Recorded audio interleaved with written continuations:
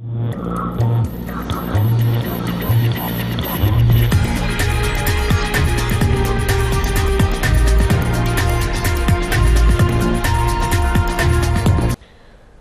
में आपको एक दफ़ा फिर खुश आमदेद कहते हैं, नाजरीन, आज हम बात करें कोयटा में होने वाली टारगेट किलिंग के हवाले से। कोयटा के हवाले से अगर देखा जाए तो गुजशत चंद हफ्तों से वहाँ पर सूरत हाल कशीदा होती जा रही है और हज़ारा कबाइल के जो लोग हैं, उन पर हमले किए जा रहे हैं बाकायदा। और लोग आते हैं, बसों में सवार होते हैं, वहाँ पर हज़ारा कबाइल के लोगों को फायरिंग करके शहीद करते हैं और उसके बाद वो लोग भाग जाते हैं।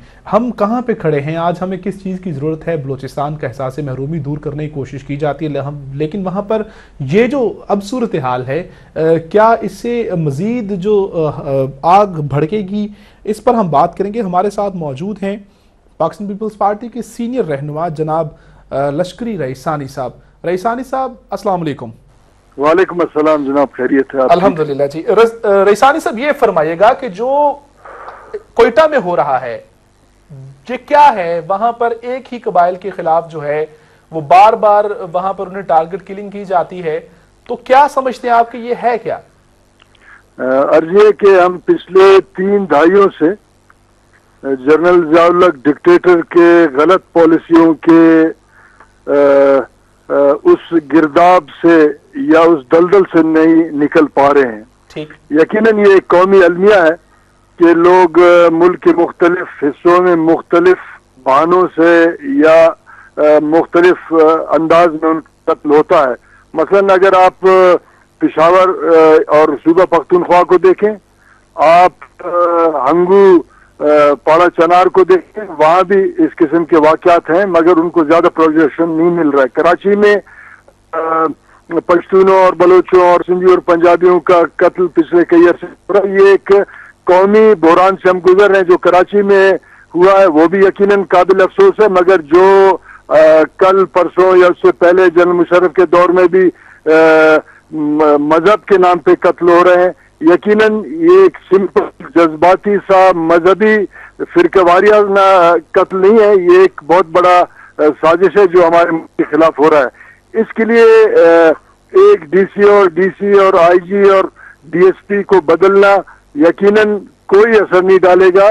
हमने इस कौमी अलमी, कौमी बहरान का एक कौमी स्ट्रेटेजी के साथ मिल के हल तलाश करना है। इसमें खारजा पॉलिसी को हमने देखना होगा। हम अंदरूनी मजमूरी तौर पे जो हमारे सिक्योरिटी के और इंतजामी मामला हैं उनको हम ऊपर से लेकर नीचे माइक्रो मैनेजमेंट के ज़रिए हम ठीक कर सकेंगे। उसमें यकीनन डिस्ट्रिक्ट वाइज हर डिस्ट्रिक्ट के अपने मारूजी हालात के मुताबिक हालात होंगे ये ठीक करेंगे। मगर अफसोस के साथ ये कहना पड़ता है इस इन तमाम हालात में हुकूमत हुकूमत यकीनन जवाबदेह है क्योंकि आवाम से वोट लिए है उन, उनका ज़रूरत है। हुकूमत अपना पॉलिसी आज तक वाजे नहीं कर पा रहा है। आज तक हमारे सूबे में ये पता नहीं चला कि कोई हमारा होम मिनिस्टर है और वो जवाबदेह है। इन मामला को देख रहे हैं। इस बहुत बड़े दौरान में मिलकर हम निकल सकते हैं वरना मजीद लोगों का कत्ल होगा। लश्करी एहसानी साहब आपने फरमाया कि पता नहीं चल रहा है कि पॉलिसी क्या है। अब हुकूमत तो वहाँ पर पीपल्स पार्टी के है आप भी चूँकि मरकज में भी हैं तो ये क्या आप अपनी क्यादत पर अदम एतमाद का इजहार कर रहे हैं? देखिए हुकूमत सिर्फ़ पीपल्स पार्टी का नहीं है अगर थोड़ा इंसाफ किया जाए जमीयत भी है हमारे साथ और होम मिनिस्टर बीएनपी अवामी के उनके जो मरकजी सदर है मीर इसरार जहरी वो इस वक्त फेडरल मिनिस्टर है यहाँ काफ लीग के तमाम एम पी एज हुकूमत में है नेशनल पार्टी है मुस्लिम लीग नून है। पहले इस बात को वाजे मैं कर दूँ ताकि कोई गलत फहमी है इसको निकल। मैं ये कह रहा हूँ कि कौमी अलमिया है एक बहुत बड़े सीरियस स्ट्रेटेजी से निकले। बाजाकत लग ये रहा है कि हमारे जो साहब इख्तियार हैं जो भी है उनको दिलचस्पी नहीं है।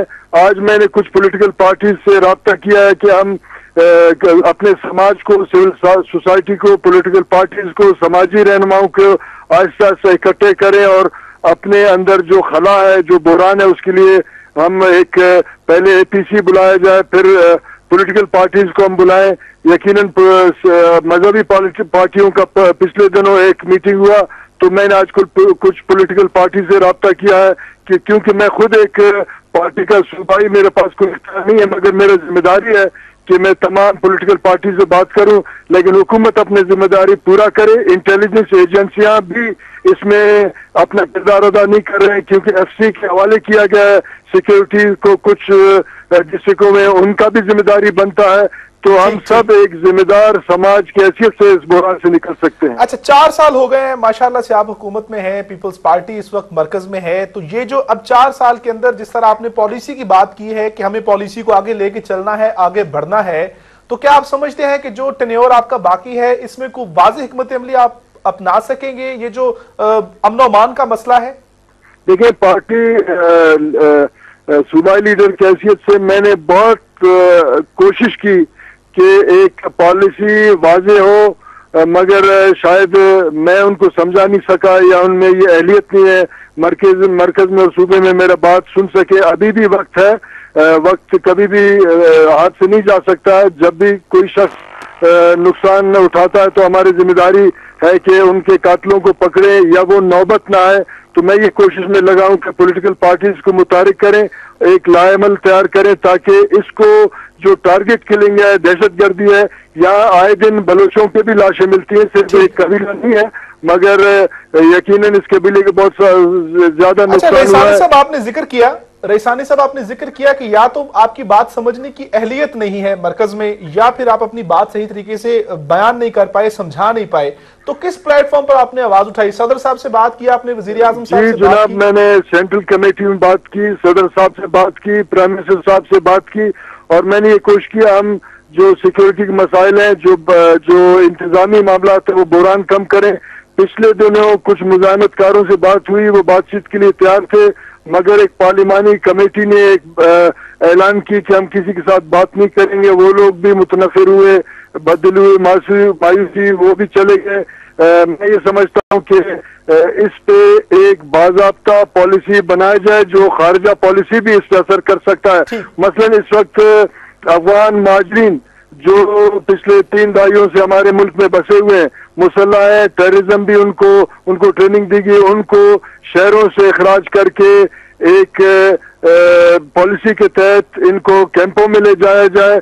एक हद तक हमारे मसाइल उससे भी कम हो सकते हैं, मगर आज कई सालों से अगर आप कभी सुने, मैं टीवी चैनल्स पे और सेनेट के अंदर मुख्तलिफ़ अवकात पे माजिन के हवाले से बात करता हूँ, मगर मुझे किसी तौर पे एक हिमायत आज तक पार्लियामेंट के अंदर से किसी सूरत पे मुझे मिल, नहीं मिला मैं समझता हूँ कि अच्छा, करना हमारी ज़िम्मेदारी ज़िक्र किया कि कुछ ग्रुप्स ग्रुप्स के साथ आपने बात की मेहनत की कि उनके साथ मुजाकरात किए जाए ताकि वो तशद का रास्ता छोड़ दें और उन्हें कौमी धारे में लाने की कोशिश की जाए सियासी धारे में लाने की कोशिश की जाए लेकिन आपकी बात सुनने को कोई तैयार नहीं है। इसका मतलब तो यह है कि रेसानी साहब आप सिद्ध के दिल से कोशिश कर रहे हैं लेकिन आपकी बात को सुनता ही नहीं आपकी बात को अहमियत नहीं देता। गोया ये लगता है कि हुकूमत खुद नहीं चाहती बलोचिस्तान के अंदर अमन हो? अब देखिए बात ये कि मैंने तो मेरा ज़िम्मेदारी है और आखिरी दम तक कोशिश करता रहूँगा कि मेरे सरजमीन पे जो एक बोरान या बेगुनाहों का खून यहाँ बह रहा है, उसको हम किसी न किसी तरीके से रोकें या कम करने की कोशिश करें। मैंने साहब इख्तियार को बाकायदा रूबरू के ये पैगाम पहुँचाया। अब उनका पास इख्तियार है, वो बात करने चाहेंगे, नहीं करेंगे, लेकिन मैं पिछले दो महीने से इस कोश में लगा हूँ। मुझे अभी तक कामयाबी हासिल नहीं हुई। मगर मैं ये समझता हूँ कि सूबाई हुकूमत को भी अपना पॉलिसी और पोजिशन वाजे करना चाहिए कि आज तक कोई टेररिस्ट पकड़ा नहीं गया है। मुख्तलिफ़ अवकात पे मुख्तलिफ़ लोगों का कत्ल होता है। मलेशिया अभी जो जिसको हम एफ़ सी कहते हैं वो भी इसका जिम्मेदार है। कई डिस्ट्रिक्टों में उनके पास तमाम तमाम तबकात पर इसकी ज़िम्मेदारी आयद होती है। लश्करी रिसानी साहब आपसे आखिरी सवाल करूँगा। ये जो आज वाक्य हुआ है हजारा कबाइल के खिलाफ जो है टारगेट किलिंग की गई है। आप इसे फिरका वारियत का वाक्य समझते हैं या फिर ये दहशत गर्दी का वाक्य और दहशत गर्दी में जो है वो किसी आ, किसी की भी टारगेट किलिंग नहीं होती वो दहशत गर्दी है उसका काम दहशत गर्दी करना है। इस वाक्य के हवाले से आप क्या कहेंगे? देखिए मैं बहुत अरसे से कह रहा हूँ कि बलूचिस्तान को के हालात को खराब किया जा रहा है और एक दहशत गर्दी का लहर है। कभी ये कहा जाता है कि सेटलरों को मार रहे हैं कभी शिया के नाम पे कत्ल किया जाता है। कभी बलोचों के गले सड़े लाश मिलते मिलते हैं उनके। मिसिंग पर्सन का इशू है। कभी किसी किसी बहाने से कोई वाक्य ऐसा पेश करते हैं। मतलब एफसी वालों पे हमला हुआ। पिछले दिनों कर्नल का वाक्य उसको कत्ल कर दिया गया। तो मैं ही समझता हूँ कि एक लहर है। इसके लिए बाजाबता कौमी और खारजा पॉलिसी और अंदरूनी हालात को ठीक करने के लिए बाकायदा एक स्ट्रेटेजी बनाया जाए तो मैं समझता हूँ कि हालात बेहतरी की तरफ़ चले जाएँगे। बहुत शुक्रिया। लश्करी रेसानी साहब आपने वक्त दिया और इस प्रोग्राम में हमारे साथ बातचीत की हमारे साथ स्टूडियो के गुफ्तगु थे। Senator Nawab Lashkari Raisani People's Party के सीनियर रहनुमा है बात की है उनसे। उन्होंने कहा कि कोयटा के हवाले से और बलोचिस्तान के अंदर जो इस वक्त आग लगी है उस हवाले से उन्होंने कोशिश की है समझाने की हुकूमत को लेकिन उन्होंने कहा कि शायद मेरी बात जो है उनमें अहलियत नहीं है वो समझ सकते या मैं अपनी बात को बेहतर तरीके से नहीं जो है वो कह पाया। और इसके साथ साथ उन्होंने कहा कि एक वाज हमत अमली की ज़रूरत है जो हमें अपनानी है। हमें अपनी पॉलिसी में तब्दीली लानी है अगर हम बलोचिस्तान के अंदर अमन चाहते हैं। और उन्होंने कहा कि कुछ अनासर ऐसे हैं जो शायद बलोचिस्तान में अमन नहीं चाहते। एक बात उन्होंने बड़ी अहम की कि मैंने कुछ ग्रुपों के साथ बात की कि उन्हें कौमी धारे में लाया जाए, सियासी धारे में लाया जाए, लेकिन जो पार्लिमानी कमेटी है शायद वो इन पर तमाम, इन तमाम पर अमल करने के लिए तैयार नहीं है। उनसे बातचीत के लिए तैयार नहीं है। हमें बात करनी होगी और तमाम जो इस वक्त कोयटा के अंदर सूरत हाल है, उसको काबू करने के लिए हमें बड़े पैमाने पर इस वक्त तब्दीली की ज़रूरत है और एक वाज हमत अमली की ज़रूरत है। नाजरीन, इसी पर हम मजीद बात करेंगे। इस ब्रेक के बाद हमारे साथ रहिएगा।